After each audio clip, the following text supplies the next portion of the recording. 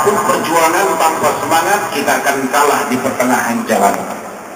Kalau semangat itu kuat insya Allah tidak perlu dengan jumlah yang banyak dengan alat yang canggih yang penting semangat dan ini terbukti Rasulullah Sallallahu Alaihi Wasallam pada satu peperangan yang ketika itu Nabi kita Sallallahu Alaihi Wasallam tentara tentara Rasulullah hanya berjumlah 313 orang.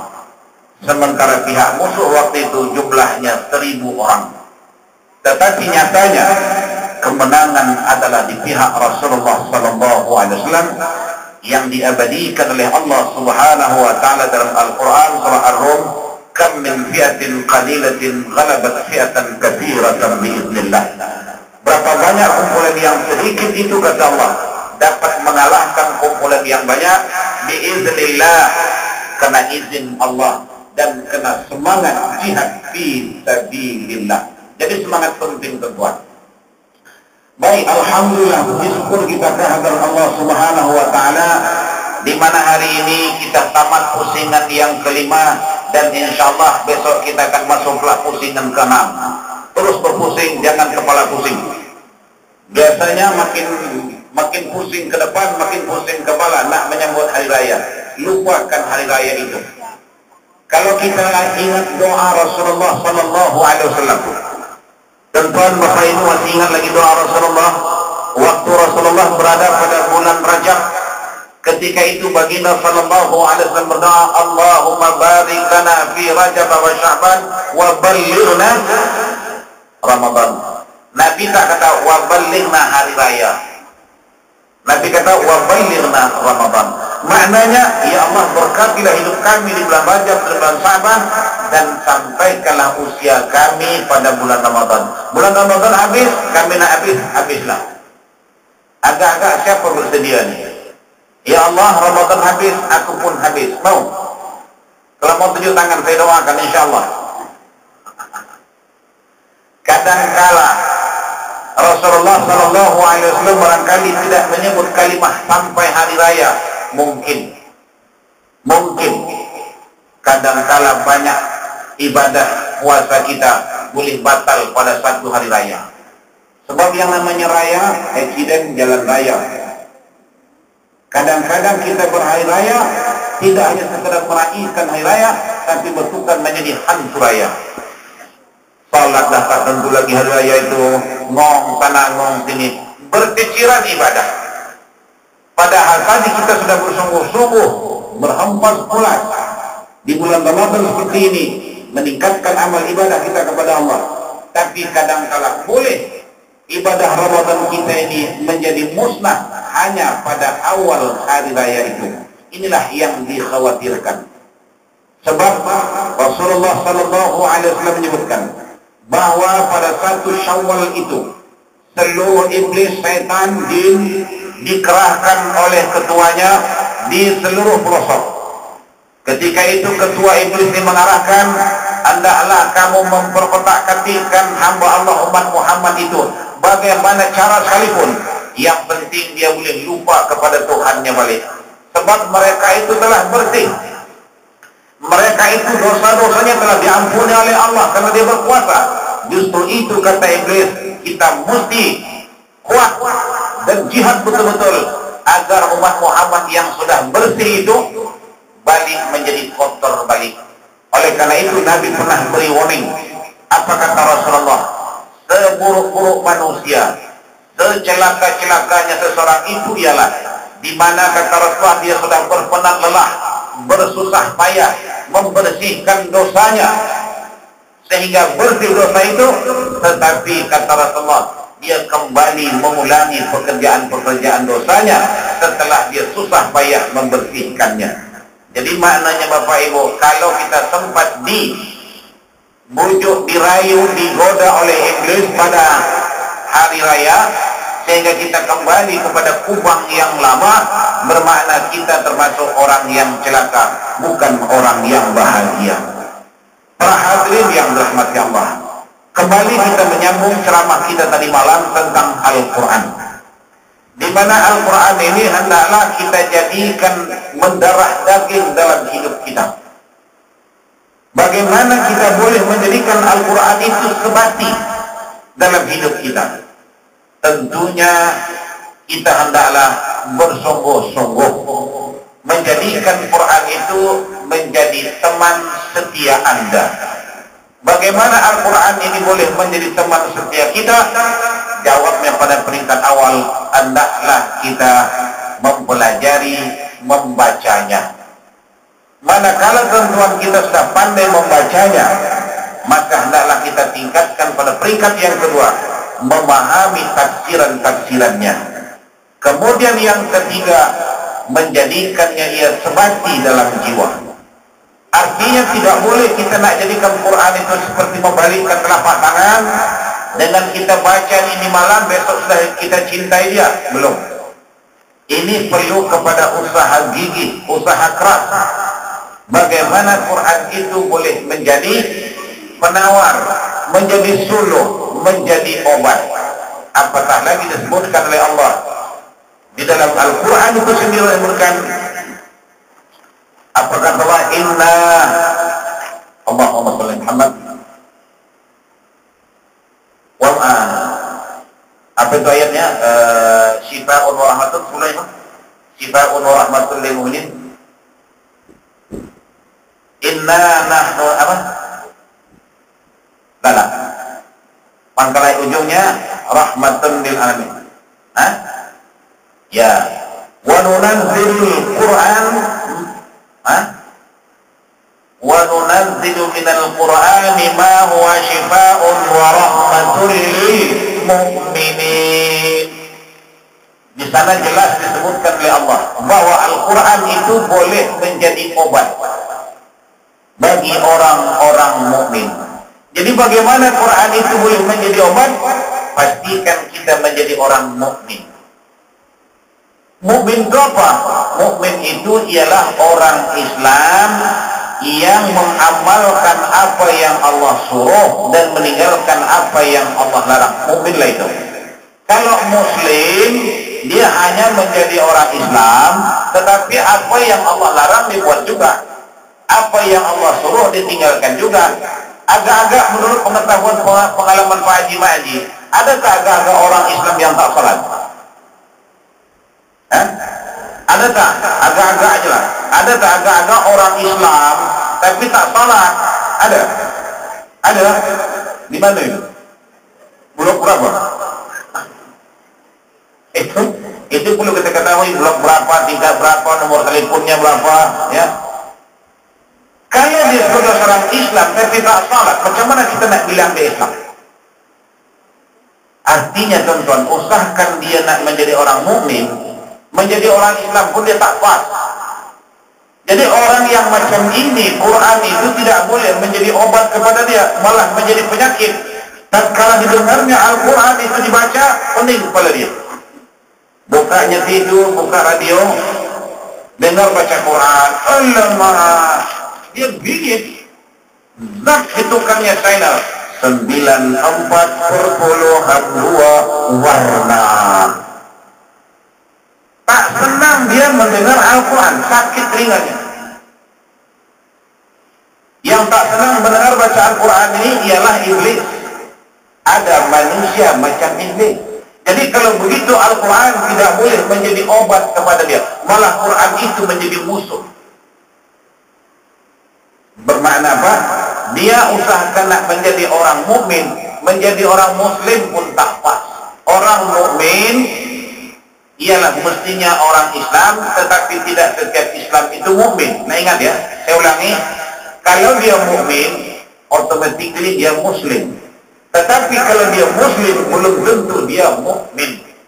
Sehingga ada disebut oleh Nabi Muslim Asi Muslim asli maknanya dia orang Islam tapi hidupnya bergelumang dengan maksiat. Di dalam Al-Quran itu juga disebut oleh Allah. Janganlah kamu mengatakan kamu mukmin, tapi cukuplah kamu berkata Muslim. Artinya apa? Untuk kamu nak menjadi mukmin belum lagi cukup syarat. Kalau betul-betul engkau menjadi orang mukmin, Quran itu menjadi obat kepada dia.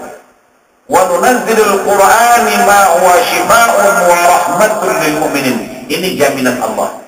Tetapi tentuan, Quran itu menjadi obat sekali lagi, bukan obat Quran. Sebenarnya penyakit kulit, penyakit penyakit jasmania nih itu biasa. Ya, itu biasa. Malah kadang-kadang baik. Apa baiknya kalau tak ada sakit hospital enggak ada.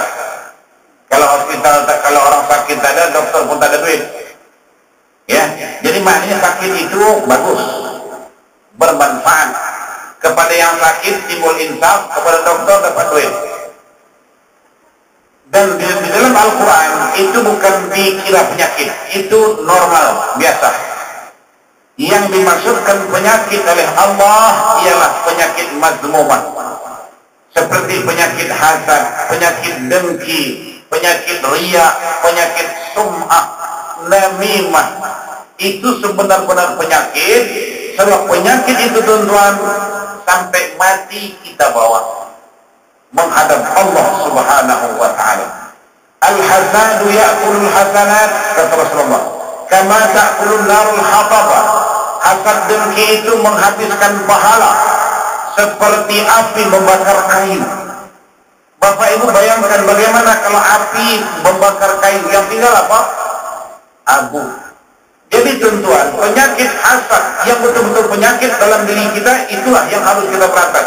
Seperti tadi penyakit hasad di mana penyakit hasad ini menghabiskan pahala. Kita salat habis pahalanya. Kita berpuasa habis pahalanya. Kita bersedekah habis pahalanya. Kemana pahalanya? Digrogoti oleh sifat buruk dalam hati kita ini. Namanya hasad tadi. Ala inna fil jasadi mudghah. Idza salahat salaha al-jasadu kullu. Wa idza fasadat fasada al-jasadu kullu. Ala wahya qalb. Ketahuilah olehmu kata Rasulullah bahwa dalam tubuhmu itu ada seketul daging.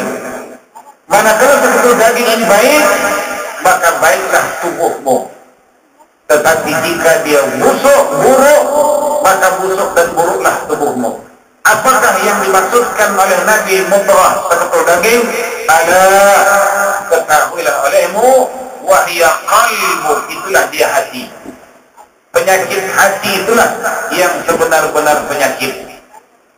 Di mana tadi contoh saya sebutkan bahwa kalau dalam hatinya ada penyakit yang namanya hasad, bayangkan segala amal ibadah yang kita kerjakan habis musnah digerogoti oleh sifat atau penyakit dalam hati kita tadi yang namanya hasad. Nah inilah Al-Quran sebagai obatnya.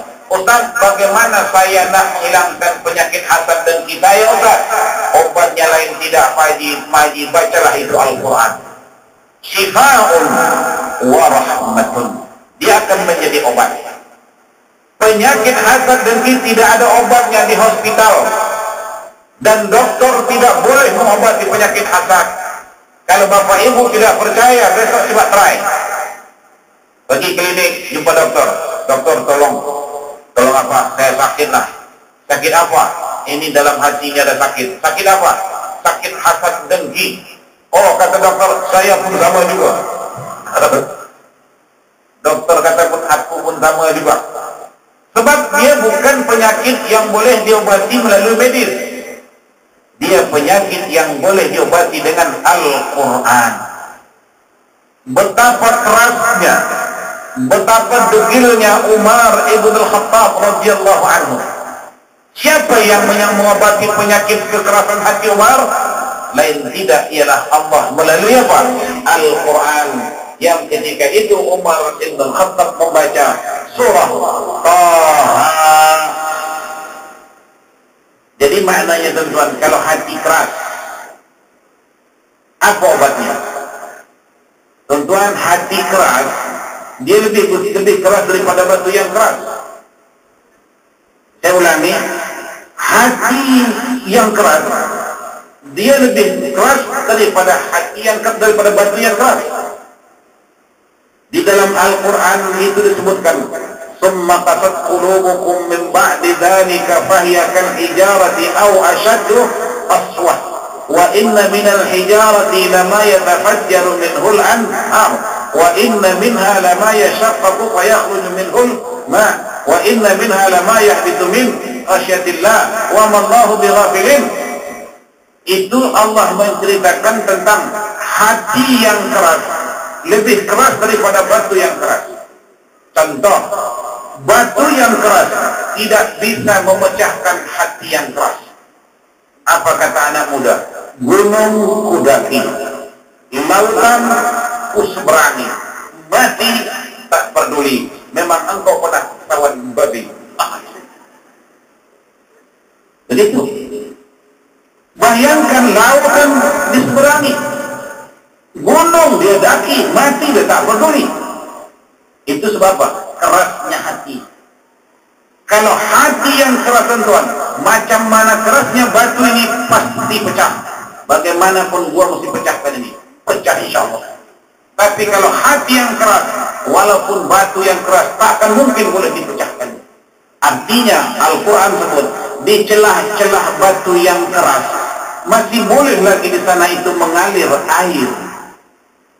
Tetapi kalau hati yang keras tidak boleh air pun mengalir. Air bukan mengalir malah kering. Dikenakan hati yang keras itu. Nah bagaimana untuk mengobati hati yang keras seperti itu lain tidak kembalilah kepada Al-Quran. Al-Quran itu sebagai obat yang saya katakan tadi penyakit-penyakit rohani.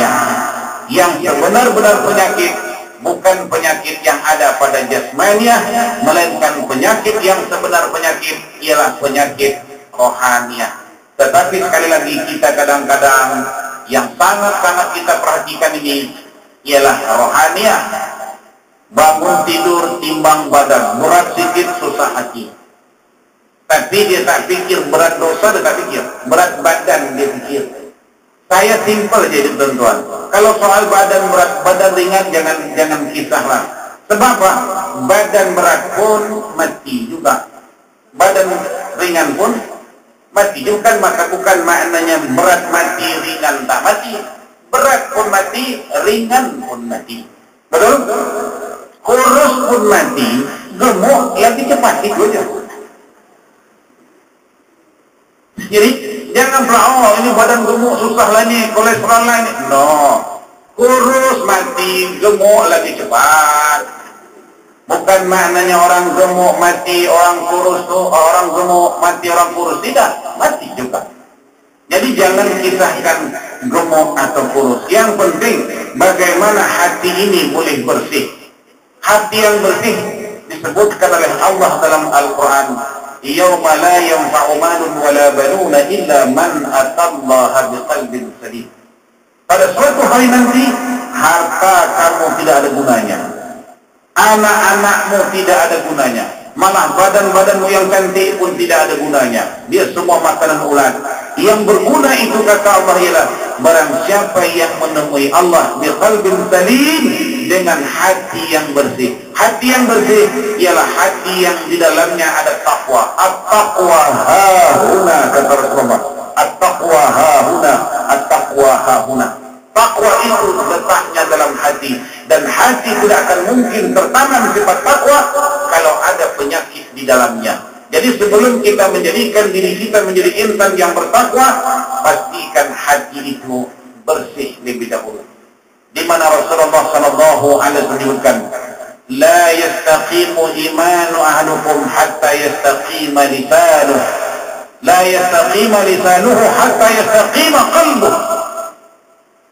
Kata Rasulullah, tidak akan mungkin imanmu itu baik kalau tidak lidahmu baik dan lidahmu itu tak akan mungkin baik kalau hatimu itu tak baik kadang-kadang cakap lawa tapi hati berkarat oleh karena itu hati ini menjadi pandangan Allah subhanahu wa ta'ala.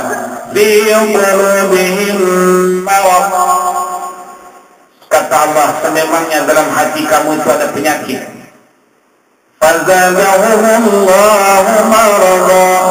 Kalau kamu tidak mengobatinya nanti dia akan bertambah-tambah sedikit. Jatuh titik yang hitam tetapi tidak kita bersihkan.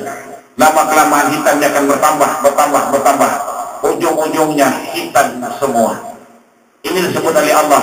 Kalau sudah semua hati itu hitam, Allah menjatuhkan fain khatamallahu ala qulubihim wa ala sam'ihim wa ala absarihim ghishawah khatamallahu ala qulubihim Allah sudah cap hati zat maknanya ini resmi hati yang tak boleh pakai lagi. Bapak Ibu kalau sudah hati kita ini dicop oleh Allah subhanahu wa ta'ala dia akan rentetannya ke telinga. Hati beku mata buta telinga buka. Itulah sebut khatamallahu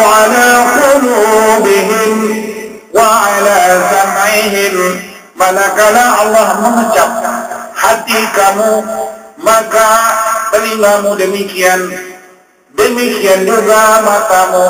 Akhirnya kamu hidup meraba-raba punya hati tapi hidup bagaikan tak berhati perut. Punya telinga macam pekak badak punya mata buta macam mata kayu. Ini tentang begitu. Hatinya sudah dicap oleh Allah Ta'ala. Tidak ada sifat ihsan tidak ada sifat ihsannya usah kepada orang lain kepada mak bapaknya itu tidak ada ihsan macam hatinya beku. Dia tidak melihat mak bapaknya yang begini tua rentang, seolah-olah matanya buta. Dia tidak mendengar keluhan rintihan ibu bapaknya sudah tua, seolah-olah telinganya peka. Inilah dia. Khatamallahu ala qulubihim wa ala sam'ihim wa ala absarihim. Kemudian yang paling celakanya lagi tuan kalau hati sudah dicap, mata sudah dicap, telinga sudah dicap, hidup manusia terbalik. Terbalik macam mana? Yang dilarang Allah itulah yang paling dia suka buat. Yang Allah suruh buat itulah yang dia paling benci. Dia lebih suka lagi pergi ke tempat maksiat ketimbang tempat ibadat. Dia tidak segan-segan mengeluarkan duit hal-hal yang yang tidak berfaedah. Tapi berpikir-pikir dia untuk memberi sedekah kepada orang lain. Kalau bab-bab yang maksiat ini, berapa banyak uangnya, dia tak fikir. Kalau istilahnya dia kalah berjudi, bukan dia menyesal. Alamak, tadi malam saya kalah lah seribu dolar. Dia tidak menyesal. Malah bang, bangga. Engkau tak kesal tak? Mana boleh kesal? Ini kan main, mana boleh kesal. Tidak, dia merasa kesal. Tapi kalau dia kasih sumbangan mak seribu, seribu, apa aku dapat? paling-paling dikasih risik. Kalau nyumbang masjid itu yang dapat risik kan? Lumayan juga dapat risik. Tadi kau berjudi kalah seribu risik kau tak dapat pahala kau tak dapat dosa yang kau dapat. Tapi uniknya tidak rugi. Tak menyesal. Malah bangga. Alamak tadi tadi malam seribu habis lah bangga yang kalah berjudi tapi dia merasa kesal oleh karena itu teman saya sering ingatkan kalau kita nak sedekah masuk tabung, pastikan duit yang masuk betul-betul pastikan. Dua ringgit masuk dua ringgit. Kenapa? Ada kisah teman Satu hamba Allah ini dalam poketnya ini ada duit 10 dolar, ada 5 dolar, ada 50 dolar, ada 100 dolar. Keping-keping nih. Jadi dia dengar cara sarahan, sarahan ini baru dengar dia. Katanya tangan kanan memberi, tangan kiri jangan tahu, kan begitu. Jadi dia masukkan tangannya ke poketnya, naroko. Dalam hatinya mana yang dua ringgit nih? Sekali tak macam mana Allah Allah gerakkan tangannya yang 100 dolar tadi dirasa dua ringgit, dua ringgit, dua dolar sekali masuk tangan kanan kaki tangan kiri jangan tahu zap masuk tabung dalam hati dua dolar sekali pulang ke rumah tuan Tengok yang masuk tabung itu 100. Yang masuk tabung tadi 100. Piung pingsan. Pingsan deh.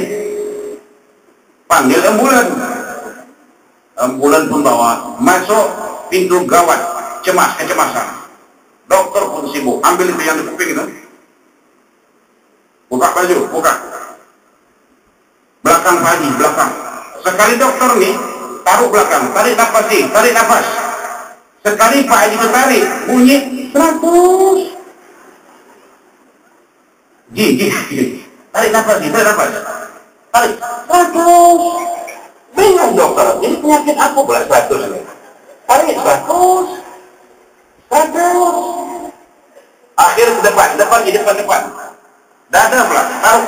Tarik nafas, ji. 100. Dokter tu tak tahu. Rupanya penyakit yang penyakit shock salah masuk duit dalam tabung. Nak masukkan 2 ringgit termasuk 100 bayangkan tu. Masuk hospital bingung dokter ini penyakit apa pula 100 ni 100 lalu dokter tanya ini Pak Haji dari mana?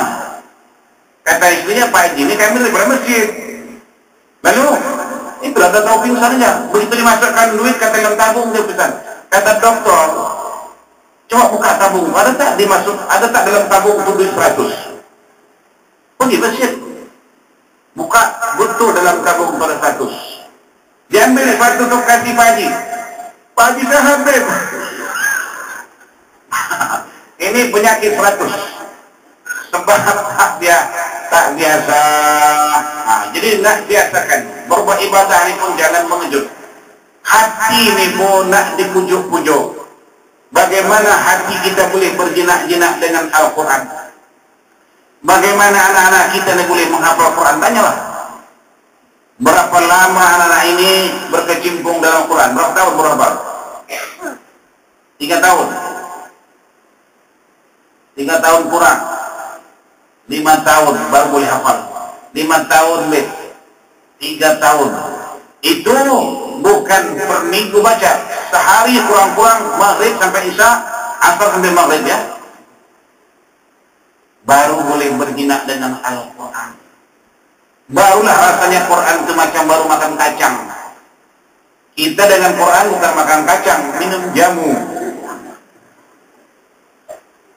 Baca Bismillah enam tujuh kali. Bis, bis, bis, bis, bis, bis, bis, Bismillah. Ir, ir, irha, irah, irah, irah. Kata malaikat meninggal bagus saja. Menyusahkan aku. Itu kadang-kadang kita tidak suka baca Quran sebab tengah petah-petah tetapi subhanallah barang siapa baca Quran itu tuan wa yata'u fihi kata Rasulullah wa yata'u fihi falahu ajrani barang siapa yang baca Quran dalam keadaan terpetah-petah ya ta'ta fihi terpetah-petah tersekat-sekat tersendat-sendat. Falahu ajrani maka Allah beri dia ganjaran pahala dua. Subhanallah. Kenapa sampai dua? Sudahlah dia terpetah-petah dibaca juga. Tapi ini yang terpetah-petah lah jangan berapa aja dalam tempat terpetah wa wa wa du du du duha du du duha kenapa petah ini? Dua pahala itu dua bukan dua bala. Dua bala. Ini yang tidak tahu. Yang tidak tahu terpetah-petah falahu ajrani. Allah beri ganjaran dua pahala. Kalau yang mahir al-mahir bil Quran ma'as safaratil kiramil bararah. Itu lain lagi mereka yang mahir dengan Al-Quran maka kelak dia akan ditempatkan bersama Rasul para anbiya pada hari kiamat. Subhanallah. Dan mereka yang hafal Quran ini nanti pada hari akhirat api neraka tidak menyentuh mereka dan tanah-tanah pun tak berani memakan tubuh mereka. Itu disebutkan oleh Rasulullah sallallahu alaihi wasallam itu hebatnya Quran. Dapat memberikan keselamatan dalam kehidupan kita duniawi dan ukhrawi. Lebih-lebih lagi tuan-tuan kalau kita baca Quran di bulan Ramadan ini Allah memberikan ganjaran satu huruf sepuluh. La taqulu alif lam mim kata Rasulullah. Jangan kamu menyangka alif lam mim itu satu huruf. Walakin alif harfun lam harfun mim harfun alif lam mim salah satu huruf maknanya kalau kamu baca alif lam mim itu tiga huruf artinya 30 alif 10 lam 10 mim 10 Alif Lam Mim 30. Tapi jangan berhitung tangan. Alif Lam Mim 30. ذلك الكتاب لا ريب فيه هدى للمتقين الذي Tolong nanti kan bapak punya kalkulator Dia pun itu lima ribu sadaqallahu Tengok juga niat engkau baca, kenapa?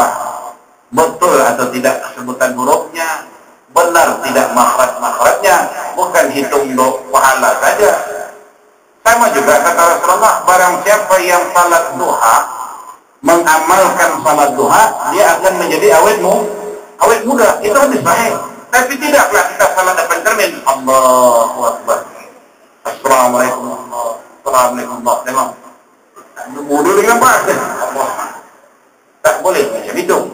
Ini hendaklah kita buat lillahi ta'ala. Quran kalam Allah. Dan jangan ada kita mengambil apa-apapun keuntungan demi keuntungan dengan Al-Quran yang disebut oleh Allah wala tashtaru bi ayati samanan qalila jangan kamu menjual ayat Quran dengan sebegitu murah Ya makna mahal boleh. Mahal maknanya hendaklah kamu menghargai Al-Qur'an. Al-Qur'an. ولا تشتروا بآياتي ثمنا قليلا وإياي فاتقون Jangan kamu memperjualbelikan Al-Quran dengan harga yang murah, tapi hendaklah kamu jual dengan harga yang mahal. Maknanya apa? Hendaklah kamu menghargai Al-Quran. Itu maknanya. Hargai Quran. Hormati Quran. Sebab Quran ini tentuan akan nanti ditanya oleh Allah Ta'ala melalui malaikat penanya. Wa ma imamuka. Pertanyaan kau nangkir ada lima tentuan. Hafal. Ya hafal. Nanti kalau lima ni dapat, selamat deh. Ya. Soalan mungkau nangkir dah bocor. Sudah diketahui oleh semua kita. Saya kalau sekarang mau pada bertanya, berhenti saya dijawab. Tapi kalau nanti Allah alam.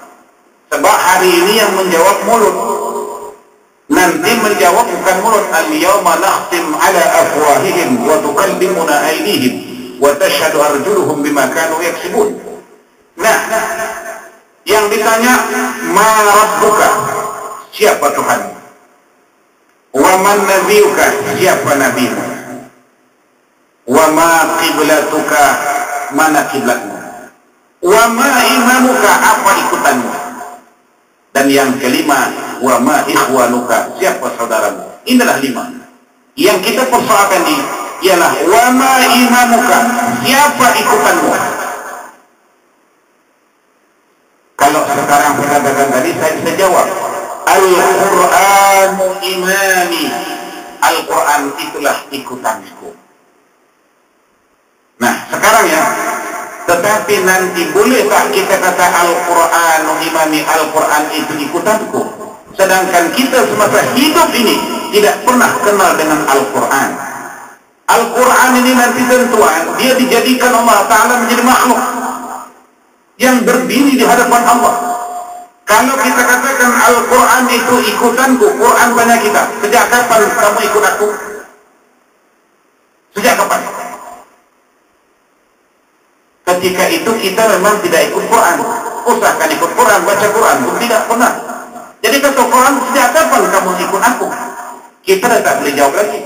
Ketika itu aku kata, Ya Rab, sesungguhnya hambamu ini betul-betul mengkhianati aku. Sejak dia hidup, sampai dia mati hidup lagi dia membohongi aku dia bilang aku jadi ikutannya padahal dia tidak pernah menyentuh aku sekalipun dalam hidupnya lanya dilanya sebab berbohong berbohong yang bercakap ini tentuan bukan mulut tangan kaki kulit-kulit ini bercakap tatkala kulit kita ini bercakap tentuan kita pun bingung Eh kulit sejak kapan engkau boleh bercakap?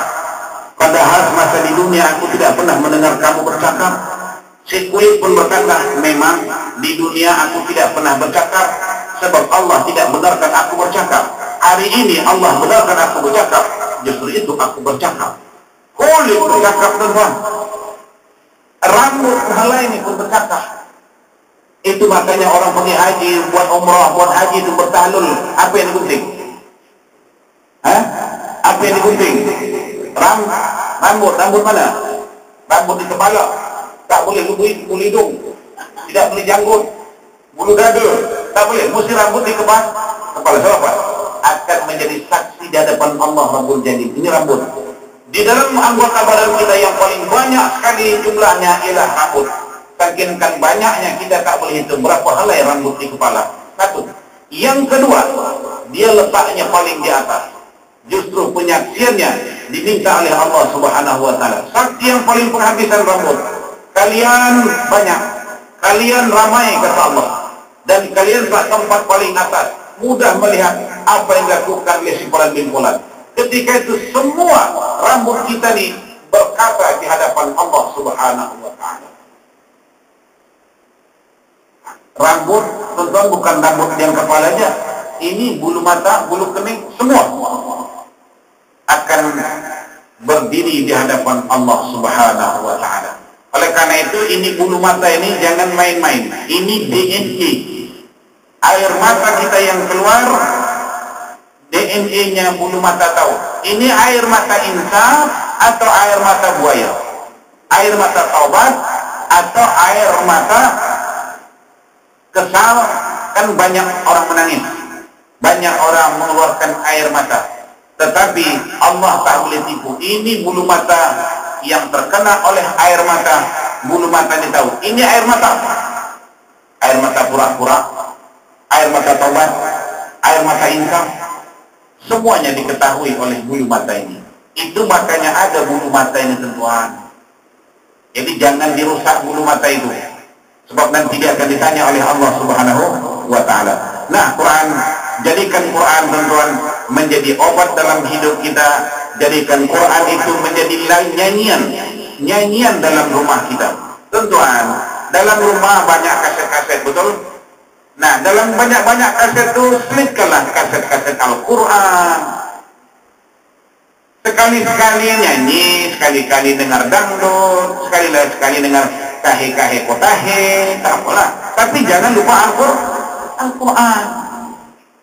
Hidupkan Quran mumpung tak tahu baca tak apa tapi tahu dengar bunyikan Quran.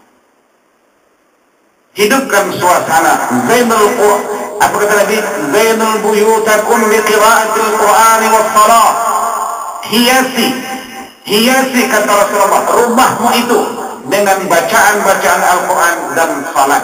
Justru itu dalam Islam kita. Salat-salat sunat lebih baik dibuat di rumah ketimbang di masjid. Tadi kalau Rasulullah di luar Ramadan salat Isya sunat rawatibnya ba'diyah di masjid. Eh, maaf, qabliyah di masjid. Tapi ba'diyah di rumah. Sebab Nabi kata, manakala kamu salat di masjid, jangan lupa tinggalkan bahagian untuk rumahmu. Zainu buyutakum bi qiraatil Qur'ani was salah. Hiasilah rumahmu itu dengan bacaan-bacaan Al-Qur'an bukan print-print Al-Quran. Kita kadang-kadang di print cantik-cantik Quran tanpa dinding. Nabi kata baca, dikiraah dengan bacaan, bukan dengan diprintkan. Nah, tapi kalau diprint dia dibaca juga ada, itu bagus. Tidak hanya print saja maksud saya, tanpa ada bunyi suara-suara Al-Quran. Nah, oleh karena itu, sekali lagi, di samping kita menghiasi rumah kita dengan berbagai-bagai furniture yang mahal, jangan lupa hiasi rumah kita dengan suara-suara Al-Quran. Mudah-mudahan Al-Quran itu menjadi rahmat, petunjuk hidayah kepada kita dunia dan akhirat insya Allah. Sekian terima kasih. Bismillahirrahmanirrahim. الحمد لله وحده والصلاة والسلام على رسول الله حبيبنا وشفينا محمد وعلى آله وأصحابه ومن تبعه ووالاه اللهم ارحمنا بالقرآن واجعله لنا إماما ونورا وهدى ورحمة. اللهم ذكرنا منه ما نسينا وعلمنا منه ما جهلنا. وارزقنا تلاوته آناء الليل وأطراف النهار. واجعله لنا حجة يا رب العالمين. وصلى الله على محمد وآله وصحبه وسلم. Walhamdulillahi Rabbil minkum. Terima kasih kepada pihak lembaga pentadbir, pentadbir Masjid Al-Mawaddah yang telah sudi mengundang saya untuk mengimami salat tarawih dua malam betul-betul di sini. Dan juga saya menghimbau kepada Bapak Ibu sekalian pada tanggal 18 18 bulan September maknanya minggu ketiga setelah kita berhari raya. Pada tanggal 18 saya sekeluarga mengalu-alukan kedatangan Bapak Ibu di rumah terbuka kami. Pada hari tersebut kami membuka sepulas-luasnya blok bukan open house ya open block. Nah, open house tak mungkin. Open block pada tanggal 18 jam 10 pagi e, bertempat di blok 879 879 Woodland Street 82 ya Woodland Street 82 di blok 879 hari yang ke, minggu ketiga sesudah raya tepatnya pada tanggal 18 September. Bermula jam 10 pagi hingga jam 5 sore. Kedatangan Tuhan kami ada dukan sekian wabillahi taufiq wal hidayah. Wassalamualaikum warahmatullahi wabarakatuh. Ada lah. Jadi apa biasa kita punya mak. Ha? Dia tinggal dekat sini. Oh, sini kau betul.